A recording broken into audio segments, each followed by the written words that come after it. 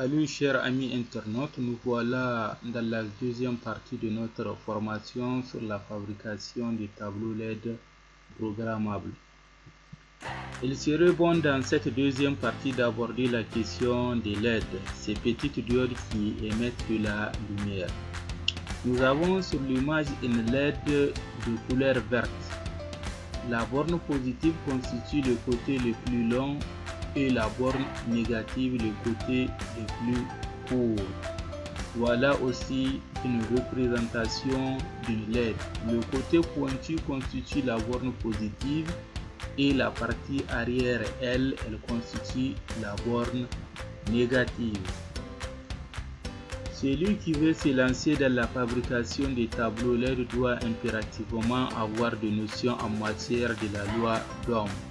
Nous avons besoin d'utiliser le courant électrique dans les différents montages que nous allons faire. Et qui dit utilisation du courant dit connaissance des principes minimums qui gouvernent ce domaine. Et que dit la loi d'Ohm la célèbre, formule de la loi d'Ohm dit la tension est égale au produit de la résistance multiplié par l'intensité.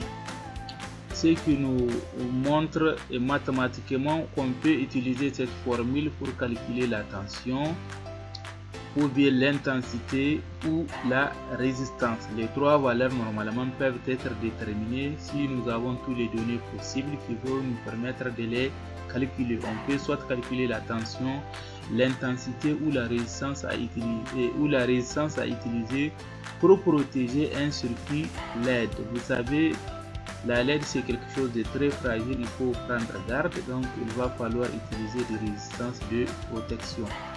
Chaque LED en fonction de sa couleur possède euh, une tension minimale de fonctionnement appelée tension de chute ou VF telle que nous avons la valeur d'une alimentation notée V à lim doit être supérieure à n fois BF. Donc, tension générale et tension de chute. Ici, nous avons la tension générale au niveau de l'alimentation et nous avons VF qui représente la tension de chute donc au niveau de la LED. Elle possède également une intensité minimale de fonctionnement appelée donc IF, sans laquelle il serait difficile à la LED de fonctionner correctement. Dans ce cas, l'intensité de votre alimentation générale doit vérifier la relation suivante.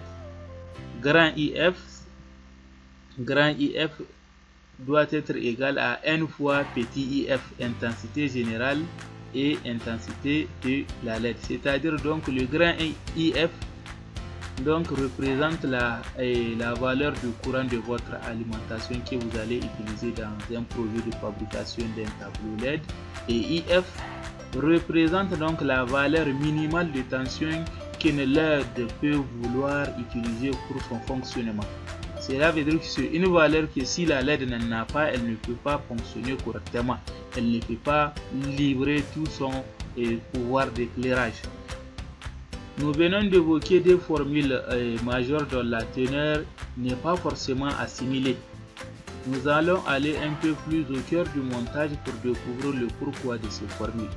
Pour cela, nous aurons besoin d'aborder la question du montage de LED en série ou en parallèle.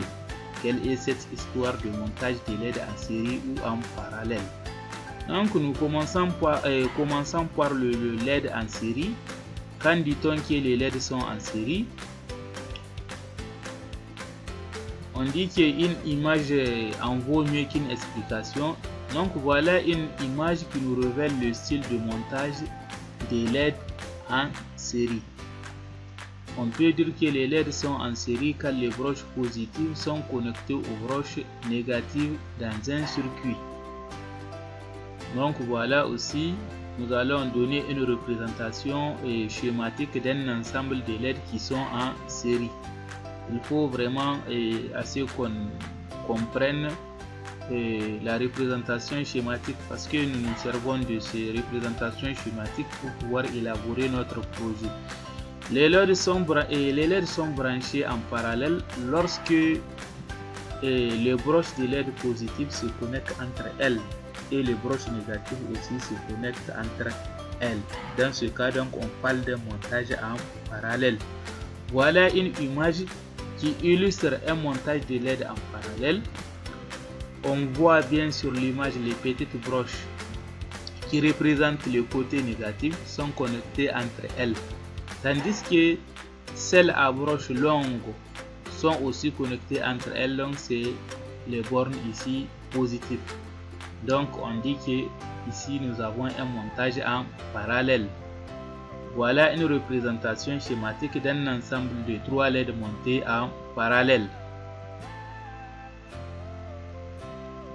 Nous avons un autre type de montage qui constitue la somme de deux autres montages, c'est-à-dire que ce dernier comporte à la fois des montages en série et en parallèle. Voilà une image qui illustre ce montage hybride. Je pense qu'on a fait un peu le tour des différents euh, montages ou disons qu'on a vu les montages qui peuvent nous intéresser dans la présente formation parce qu'on ne va pas essayer d'aller dans le fond des choses donc c'est juste de vous présenter l'essentiel qui va vous donner normalement le minimum pour démarrer. Pour ce qui est des recherches avancées, donc ça là, à la personne, il pourra normalement chercher sur le net pour compléter. Mais juste ici, on essaie de donner vraiment le nécessaire. Maintenant, nous allons au moins aborder la question donc de, de loi électrique qui régissent d'une part le montage de LED en série et d'autre part donc d'autre part le montage de LED en parallèle. Donc, commençons par le montage de LED en série. Dans un montage en série, tout ce qu'il faut retenir, c'est que la tension s'ajoute. Quand vous avez vos DEL, comme on le dit en français, ou bien LED, comme on le dit en anglais, dans tous les cas, même en français, moi je prononce LED. Quand vous avez votre LED qui sont montés en série, il faut savoir que la tension s'ajoute. Hein? Lorsque les LED sont en série, les tensions s'ajoutent. C'est-à-dire quelle est la tension qui s'ajoute C'est cette tension-là dont on a donné le nom de IF. Le minimum qu'une LED peut vouloir donc avoir pour qu'elle puisse fonctionner. Donc si vous avez normalement 3 LED, cela veut dire qu'il y aura 3 IF. IF plus IF plus IF. Nous aurons besoin de...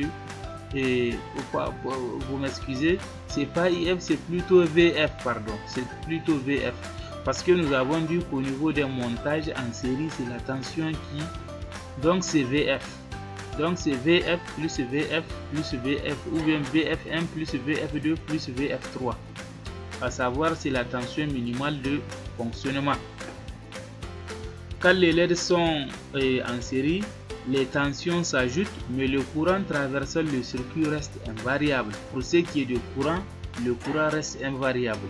Donc par exemple et si le circuit donc est piloté par 20 mA, cela veut dire que si vous avez trois LED qui sont en parallèle, toujours la valeur donc du courant traversant ce circuit va rester donc à 20 mA. Il n'y a pas donc d'addition à faire parce que c'est il s'agit d'un montage en série.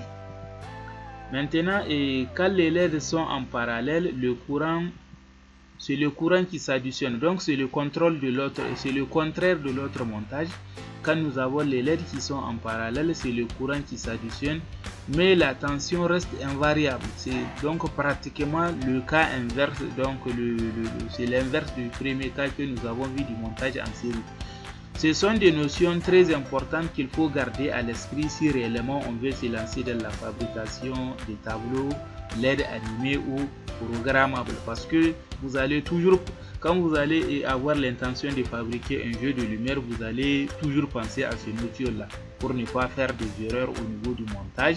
Sinon vous allez avoir des surprises si vous ne maîtrisez pas ces domaines.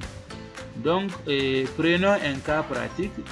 Nous disposons d'une LED de couleur rouge dont la tension de chute est de 1,9 volts et fonctionnant avec une intensité minimale de 20 ampères.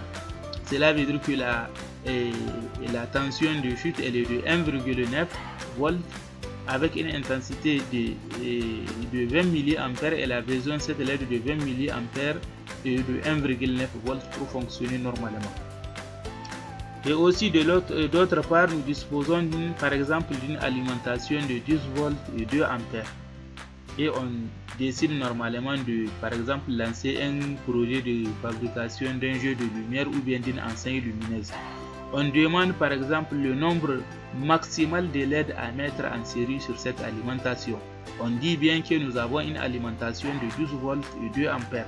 Maintenant, ce qu'on nous demande, et ce qu'on nous demande, c'est de déterminer et c'est de déterminer le nombre LED à mettre en série au niveau de, de cette alimentation. Voilà donc la réponse à l'image. D'abord pour le premier cas où il est question de trouver le nombre maximal LED à mettre en série au niveau de l'alimentation, nous allons opter de mettre 4 LED au maximum donc en série et on voit bien, et on voit bien que le chiffre 4 correspond et, répond parfaitement aux exigences de la formule. Quelle est cette formule? Et nous avons donc, on a dit, et la valeur d'une alimentation, elle est donc doit être V alimentation doit être supérieure à NVF, c'est-à-dire n fois la tension de chute. Toutefois, la valeur donc l'ensemble, la somme, comme qui est en série, et la valeur de la tension s'ajoute au niveau de vos LED.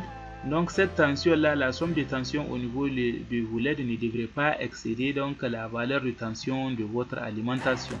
C'est tout à fait vraiment naturel, c'est tout à fait normal. Mais si j'ai opté pour euh, mettre 4 LED sur une alimentation de 12 volts, c'est par expérience, car peut-être un autre aurait proposé 6. Je pense que ça pourrait aussi répondre aux exigences de la formule. Ça pourrait aussi répondre aux exigences de la formule, c'est par expérience. Donc euh, j'ai vu au moment où je cherchais à me former, il est conseillé normalement de mettre nous n'allons pas aller donc en profondeur pour, cette question. Dans tous les cas, si vous utilisez aussi l'autre, ça va fonctionner. Mais s'il y a un inconvénient, vous allez découvrir. Mhm. Donc pour la deuxième question, on nous dit pour la deuxième question, étant donné que j'ai opté de mettre 4 LED sur l'alimentation de 12 volts et que d'autre part on sait que le montage en parallèle font, font monter le courant IF alors je détermine d'abord le nombre maximal de branches à mettre en série. Le nombre maximal de branches que, que je peux obtenir lorsque les LED sont, là, sont mis en série. Chaque branche en série consomme 20 mA. Alors il suffit de convertir le 2 A en mA, ce qui donne 2000 mA en divisant 2000, 2000 mA par 20 mA, on trouve 100 qui correspond au nombre de branches en parallèle. Ça correspond au nombre de branches en parallèle. Qu'est-ce qu'on appelle branche? C'est tout simplement le premier montage là que nous avons fait qui est constitué de 4 LED. Alors c'est une branche. C'est une branche. on peut la nommer branche, c'est pour que l'explication puisse passer. Donc nous avons 100 branches. Au niveau de chaque branche, nous avons 4 LED en série. Et en multipliant 4 par 100, on obtient 400 LED. C'est le nombre maximal que peut supporter notre montage. Notre montage donc peut être en mesure, si on utilise le montage dans le bon sens, il peut supporter jusqu'à 400 LED. Une petite remarque avant de se quitter, voilà deux montages différents nous avons deux montages différents, nous constatons que le nombre de branches est identique. Hein? Nous avons deux montages différents et on constate que dans ce montage, le nombre de branches est identique. Le nombre de branches est identique, nous avons trois, branches de chaque côté. Donc le courant consommé par les deux circuits demeure, le même. Mais le nombre de LED n'est pas identique. Cela peut vous arriver un jour et vous allez vous demander qu'est-ce qui se passe qu'est-ce qui se passe au niveau de votre montage hein? et votre alimentation n'arrive pas à supporter le nombre de LED que vous avez prévu dès le départ. Donc c'est lié à ce phénomène. Normalement, dès qu'il y a une branche, cela veut dire qu'il y a consommation de 20 mA et ça va jusqu'à n fois jusqu'à atteindre donc une valeur, une valeur qui va être un peu en dessous de votre alimentation. Parce qu'on dit qu'on ne peut pas aller au-delà de la valeur de votre alimentation. Dans tous les cas, si vous cherchez à faire un montage et que vous allez au-delà de votre alimentation, il y a un inconvénient par rapport à cet aspect. Donc je tiens aussi à vous annoncer dès maintenant que le type de montage que nous allons adopter est le montage donc du type série en parallèle. Autrement dit, parce que vous remarquez de vous-même, c'est le montage qui va nous permettre de, vraiment intégrer un ensemble, un nombre maximum, un nombre important de LED dans le projet. Nous avons besoin de, de fabriquer donc des jeux de lumière et ceci normalement exige donc et existe donc un nombre élevé de ces éléments. Par conséquent, le montage en série ne pourrait pas, ne peut à lui seul nous arranger, ni le montage en parallèle à lui seul. Donc, il faut la jonction de deux méthodes. Autrement dit, nous allons premièrement chercher à connaître le nombre maximum de loads à mettre en série sur notre alimentation. Ensuite, on peut le mettre en parallèle tout en prenant soin de ne pas excéder la valeur de l'ampérage de notre alimentation. Voilà, c'est tout ce c'est tout ce qu'on peut se dire aujourd'hui. Merci chers amis. Nous allons suspendre cette deuxième partie à partir d'ici. Prochainement, nous allons passer au test du circuit de pilotage de notre enseigne lumineux avec le microcontrôleur de la famille, donc type AVR qui s'appelle Atini 2313. Donc, euh, Merci de vous abonner, merci d'aimer notre vidéo et merci de la partager au cas où elle vous aurait plu. Vous pouvez aussi nous soutenir dans la réalisation de nos projets par le biais de notre lien PayPal en partie description. Ceux qui ont les moyens de nous aider parce que, chers amis Internet, et pour faire ce genre de projet et les mettre à la disposition d'un autre, vraiment ça nécessite des dépenses financières considérables. Nous, on ne va pas quand même vendre la formation, elle reste gratuite, mais cependant, ceux qui ont les moyens de nous aider, ils peuvent le faire à travers donc le notre lien euh, PayPal qui se trouve en partie description. Donc à partir d'ici, je vous souhaite de passer une bonne et agréable journée. On se revoit normalement à la troisième partie de cette formation. C'est votre ami Mohamed Bahari Benoît depuis le Niger.